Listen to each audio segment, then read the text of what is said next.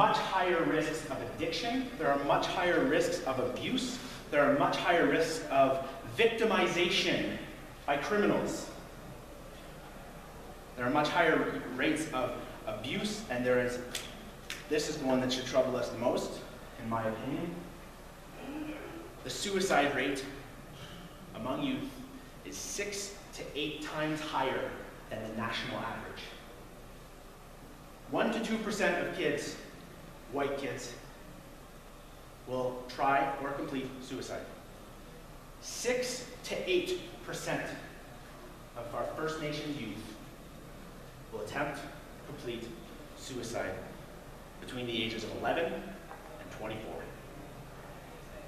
25% of our Aboriginal population reports suicidal thoughts that last their entire life,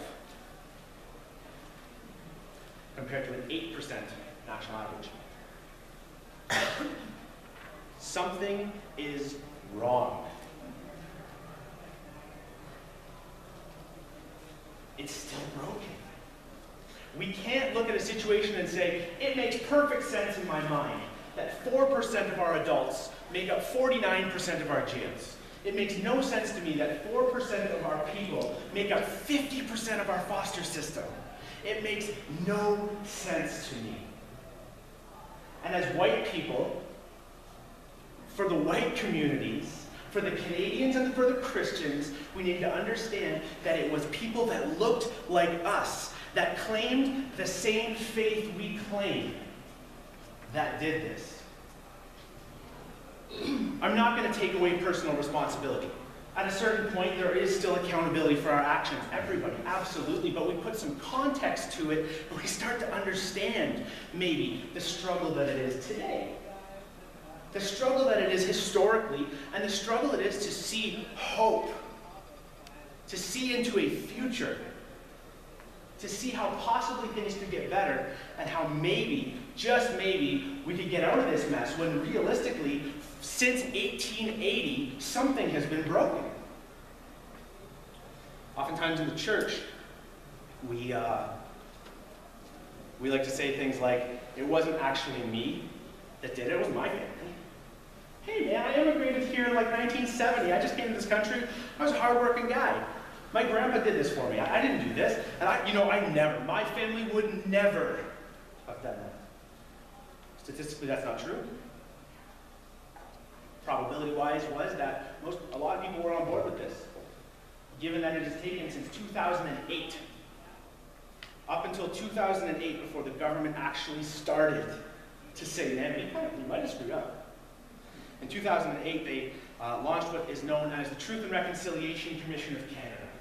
What that was was a giant task force of people who were given incredible license to uh, start to pick through the evidence and the testimony and the historical documents to understand what actually did go on um, in these residential schools. The findings were, after almost five years of study, Canada is guilty of having committed cultural genocide to an entire people group. That the Catholic Church and the government of Canada were responsible, by and large. They in that document discussed the 60s scoop as just another form oppression. And that document would say that the foster system today is reflecting that. Uh, before I get into some hope, uh, before I get into the word here, uh, I asked, so, so, Sean and I, my wife, we work in a community um, with, uh, we work with about 120 high school students uh, from, from one specific Native community. Love them dearly, uh, work in many different aspects of youth ministry. Kind of if it's youth ministry, we do it. Whether that means playing video games and, and, playing basketball, to crisis intervention in the middle of the night if a student is trying to hurt themselves, they can phone us and deal with the situation, work with the family. I asked a girl that we're very close to to write us a letter. Um, she's saved. Um, she is also the, uh, she, she was recognized last year as the uh, what do you say? Well, she won the award for native language in her community, so she, she presented for that, and she's an incredible girl. In Wiki, they use the word Jaganash to uh, explain white people. Uh, It's not a, not a super friendly term, and we understand why that term might have been used in a sense of warning, out of fear. And Rebecca writes this Dear Jagnash, this is what she wants you to know. As a 15 year old Aboriginal, I want to tell you something. I'd like to tell you about my experience. Growing up, I've been through the system. In my community, Kina is the native version of CAS. At different points in my life, I've had all of my rights violated. I've been addicted to drugs and alcohol because of my childhood. I've been bounced around from house to house. I have been lost and confused. I have been broken. I've noticed a lot of other Aboriginal people have encountered similar things in my community. I also have friends from other communities that have these experiences as well. I understand that non-Aboriginals can have hard lives too, but the truth is the majority of Canadians do not have it rough as we do. We live in communities with very limit, limited activities and resources compared to non-natives. We don't have much going on in our communities for the youth, so they turn to drugs and alcohol for something to do. They usually become an addiction. A lot, of people, a lot of people also turn to drugs and alcohol because the memories of their past and what they have personally experienced, they use it to numb their pain.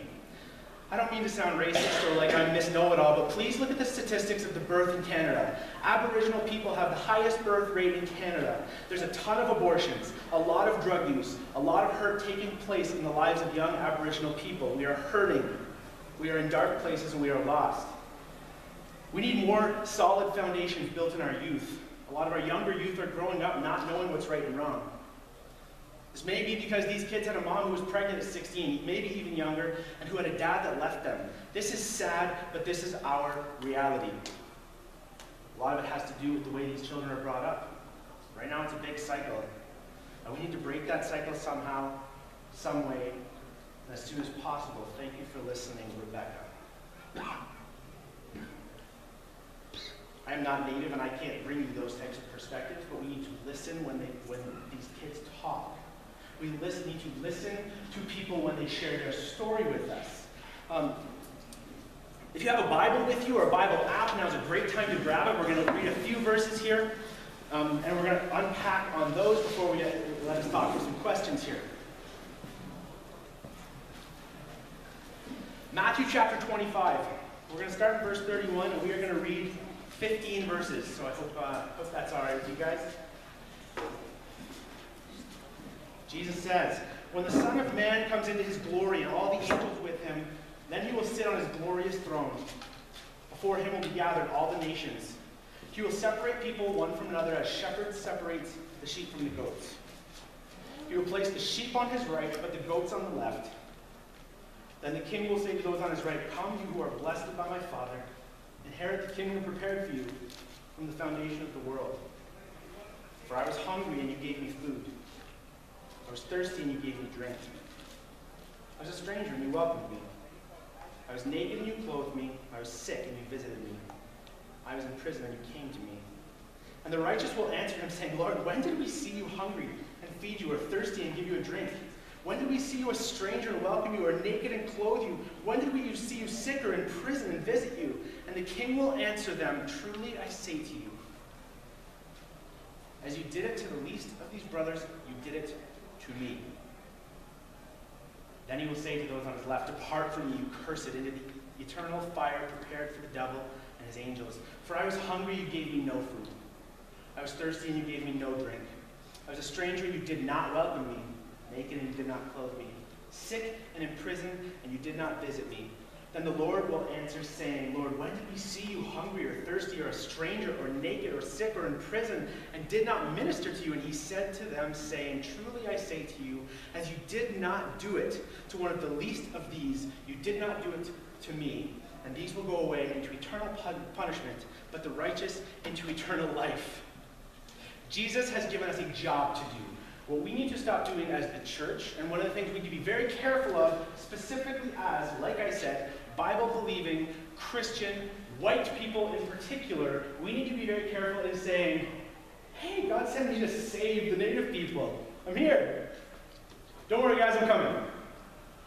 Guys, that's what they did in 1876. That's how all this started. It, you know what? It probably wasn't the intention of the first fathers to say, you know what, we're going to desecrate an entire people group. Very few people have that intention from the get-go. But when we let our um, superiority take over, when we let our um, what we think we know better than everybody take over, we bring this abusive God who is here to save people from things they don't want to be saved from. Who is your Jesus and why do I need him? Trust me, you do. Let's go. You know, you're coming to church, you're going to residential school, you're going to, into a home with a white person. That's ridiculous. And it's extreme, but it's what we do all the time. We all have a role to play in this reconciliation. The government has said we need to start making this better. We need to reconcile. And the Truth and Reconciliation Commission of Canada laid out 94 recommendations as to how everything can get better and the things that they think are number one priority versus the things they think needs to happen in, in a few years. It has to do with reforming our youth programming, reforming the education system, the prison system, the child welfare system. Basically, this Truth and Reconciliation Commission of Canada is now saying we kind of got to change everything. the way we interact with First Nations and Native people just has to change. And they lay out the practical steps of that. And Jesus says to you here, in, in honestly a terrifying account, by rights, if you read this section of Scripture and you don't start thinking, you might need to read it again, go pray.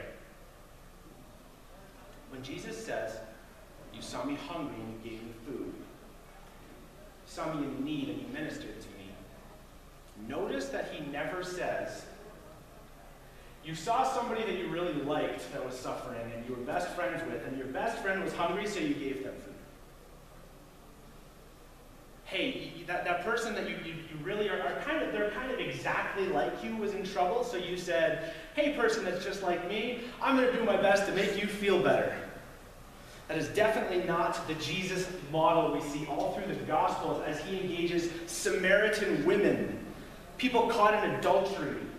He engages the prostitutes and the drug dealers of his day and says, I love you. And the crazy thing is, in that expression of love and that expression of concern for people, a lot of times the guard drops if we want to impose our help in a very patronizing way, patting people on the head, of course you're coming to my food bank. You need food, you're starving. I, I have so much food, it's crazy. Come to me, right? In this kind of backwards way of service. And I wonder if the church in 2017 is still kind of imposing this view that we're kind of still better than you. We're kind, we're kind of, we kind of still know more yeah, we don't want to be racist and we don't want to use some of the words and we kind of want to do our best to, to make you feel a little better than it used to be, but guess what? You know, when you get here, you're going to know. When you get here, you know, it's going to be pretty obvious that I have what you need. Come to me.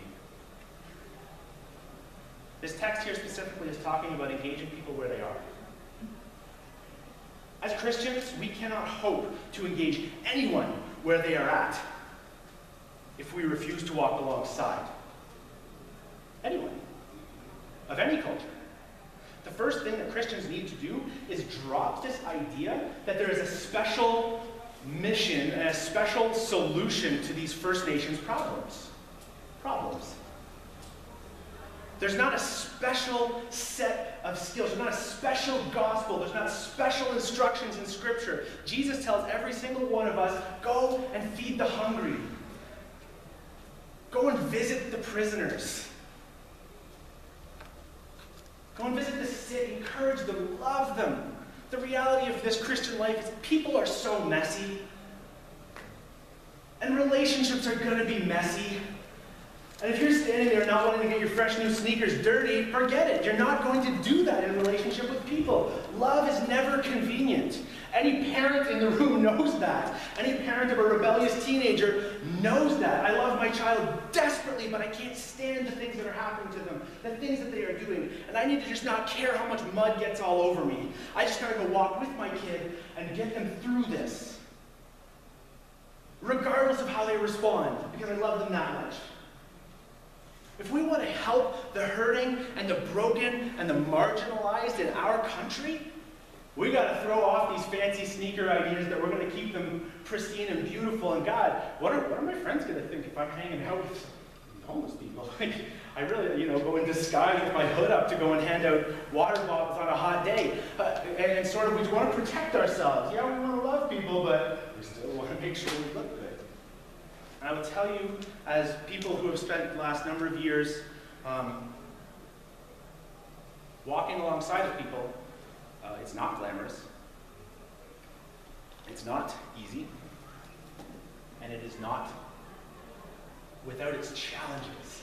Um, but if I could, if you could hear this, many, many of our challenges have come from the church.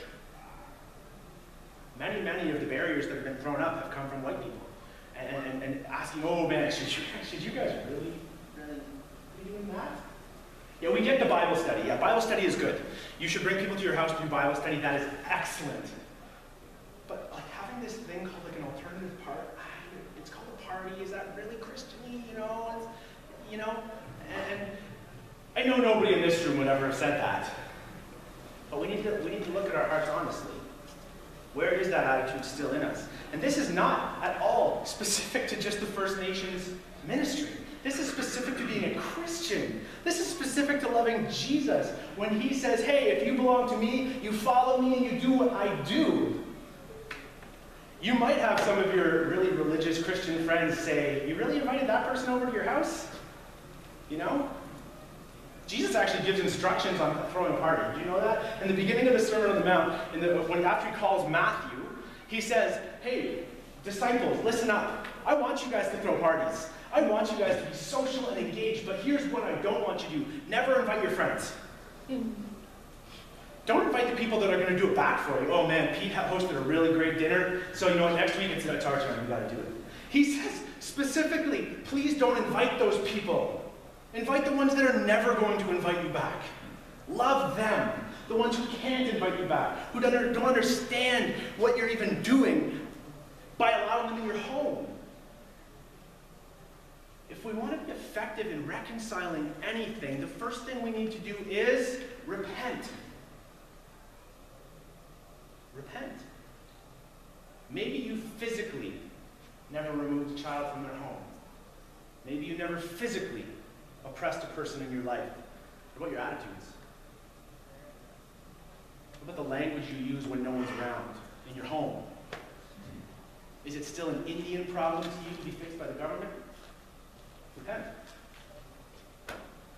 Um, we heard a story about uh, uh, one of our board members, a First Nations guy, was going, he went to a church to speak, and he heard in the question and answer time, hey, doesn't God just want your people to forgive? And, and Joe was insanely quick on his feet and really burned this woman. He was like, yeah, uh, probably after you guys repent. But we're sitting here saying, guys, you know, hey, Stephen Harper issued an apology. Right? It's all, it's all good now. Why are you still upset? There's money, there's education available, come on. Instead of saying, you know what? I can repent for the attitude I've had. I can repent for the heart that's been behind my decision making, my conversations, my thoughts. I can pray how to let those guards down and engage people where they are. You alone and your church congregation, though I am sure they're wonderful, are not the solution to the statistics that we read very deep, very complicated issue. And anyone who's got any time reading on it, studying about it, understands the layers that come with something like 140 years of a broken system. That being said, your congregation and you as an individual, your Bible study group, your small group, whatever the word is that your church uses, can be praying, how can we love people better? And specifically, how can we love First Nations people, Indigenous people, Canada's first people? How can we love them better? Am I feeding the hungry? I just want to give you guys a heads up. There's a reserve like 30 seconds from Sault Ste. Marie. And if you, if you head towards Ottawa, you're going to pass through dozens and dozens of Native communities with these vibrant people full of potential who have been held down by some of the decisions our government has made. How is God calling you to get involved? I'll, I'll be honest, the way we started our, our youth ministry, um, I got an internship. I got to work with uh, Shirley Hamilton for a year as a, uh, a junior high um, intern. And from there, my wife and I moved back up and said, how, how can we help? I was building houses. We started to invite like a kid